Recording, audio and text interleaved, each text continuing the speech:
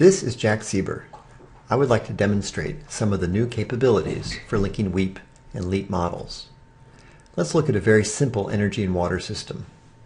On the water side, we have a single reservoir, a municipal demand, and demand for thermal cooling at a coal-fired power plant. The municipal demand has a higher priority. The hydropower from the reservoir and the cooling water demand indicate the need for a link to the energy system. On the energy side, we have just two processes for generating electricity, hydropower and the coal-fired power plant. Any shortfalls are made up from imports. The merit order for dispatch is hydropower first, then coal, and finally imports. We've entered the capacity for these plants, megawatts, and the monthly availability. In this scenario, we are not linked to WEAP, so we do not know the actual hydropower generated. Let's look at the results. All of the, the electricity comes from hydropower. Because it does, has no information from WEAP, we don't know if this is realistic or not. If we go to WEAP, let's look at the results for hydropower generated. Here we are in the same scenario, hydropower generation. You can see uh, quite a variation across the years. Uh, if we look at the monthly average, we can see it peaks in late summer. If we look at the annual total, we can see there is a variation from year to year. So it's no, by no means constant. So let's link the LEAP and WEAP models and see how that changes the results. Go back to LEAP. Now we'll go advanced option for linking to WEAP. I've already linked these models, so here you can see on the linkage screen, it's linked up the different scenarios and the different time steps. If we had not done this yet, this is the screen where we would make the linkage. So if we go back to the analysis view, and now we've got a new scenario, which is hydropower generation information will come from WEAP. And now if we're looking at the maximum availability for the hydropower, we're going to pull in a value from WEAP. So WEAP will calculate how much hydropower was generated in each month, and LEAP will get this value from WEAP. So the function here is called WEAP value.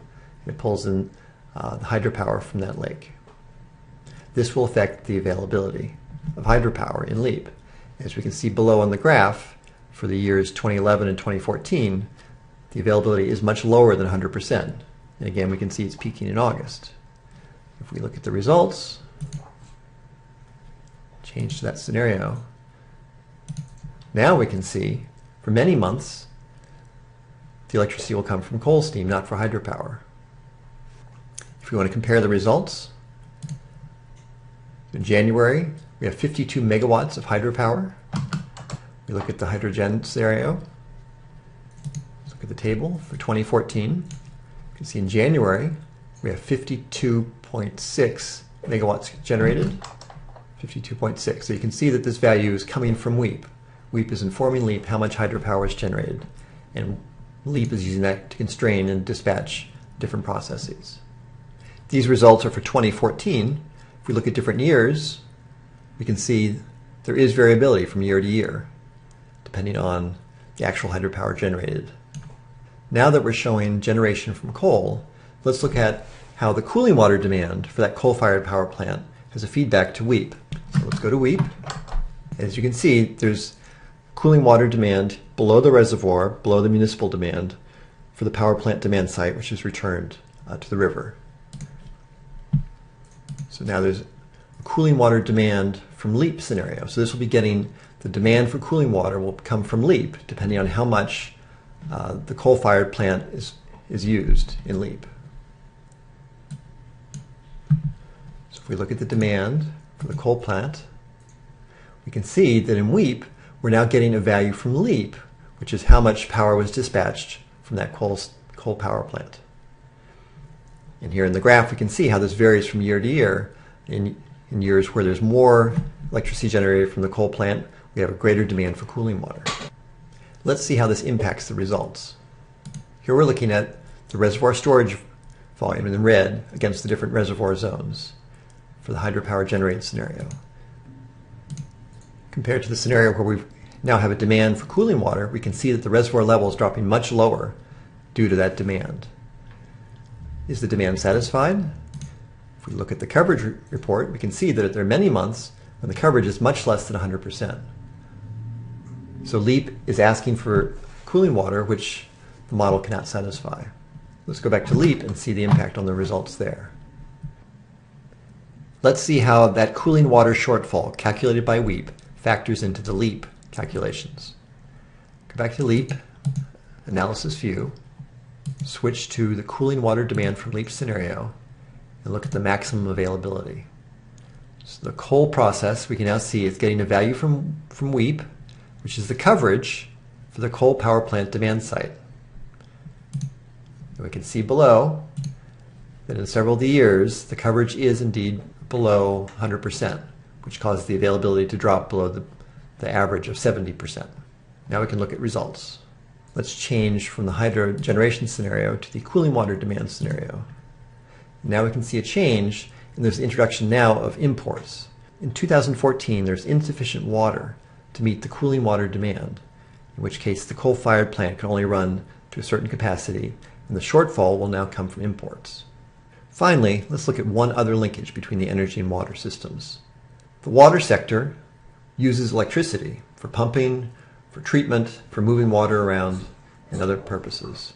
Let's model that in WEAP, which will vary depending on how much water is moved, pumped, and treated. Go back to WEAP. We'll create a new scenario called electricity demand from WEAP. And we'll look at two different types of demands. One on transmission links.